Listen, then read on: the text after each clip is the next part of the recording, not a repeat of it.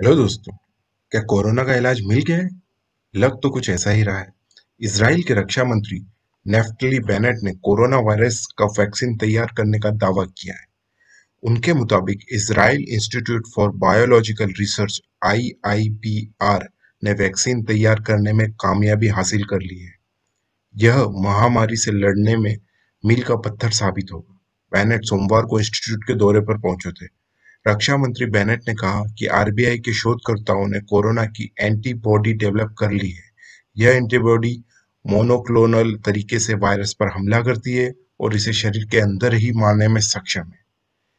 जी हाँ दोस्तों, बेनेट ने बताया कि एंटीबॉडी के फॉर्मूला का पेटेंट कराया जा रहा है।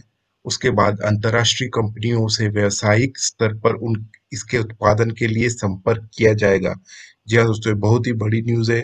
अगर पेटेंट को एक्सेप्ट कर लिया जाता है तो उसके बाद अंतर्राष्ट्रीय कंपनियों इंटरनेशनल कंपनियों से इसके उत्पादन के लिए संपर्क किया जाएगा। इसके आगे उन्होंने कहा कि हमें इस कामयाबी के लिए इंस्टीट्यूट के कर्मचारियों पर गर्व है।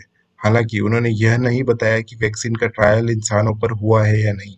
यह एक बहुत बड़ा क्वेश्चन मार्क है।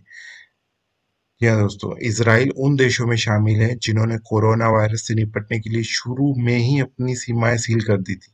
साथ ही देश में कड़े प्रतिबंध लगाए थे।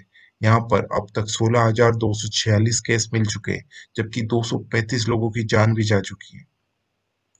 इसी बीच ये खबर आना कि उन्होंने इसराइल ने कोरोना वायरस की वैक्सीन तैयार कर ली। ये पूरे विश्व समुदाय के लिए हर मानव जाति के लिए बहुत ही बड़ी न्यूज़ है दोस्तों। हम उम्मीद करते हैं कि ये एक सही न्यूज़ हो, सही बात हो कि इसराइल ने वैक्सीन तैयार कर ली है, जल्दी इसका उत्पादन हो और हम सभी को इस वैक्सीन को यूज़ करने के लिए मिले दोस्तों।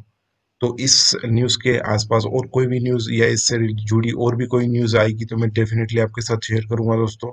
अगर आपको ये वीडियो पसंद आया तो प्लीज़ सब्सक्राइब कीजिए हमारे चैनल को और बने रहिए ऐसी और भी जानकारी के लिए हमारे चैनल में। जी हाँ दोस्तों धन्यवाद।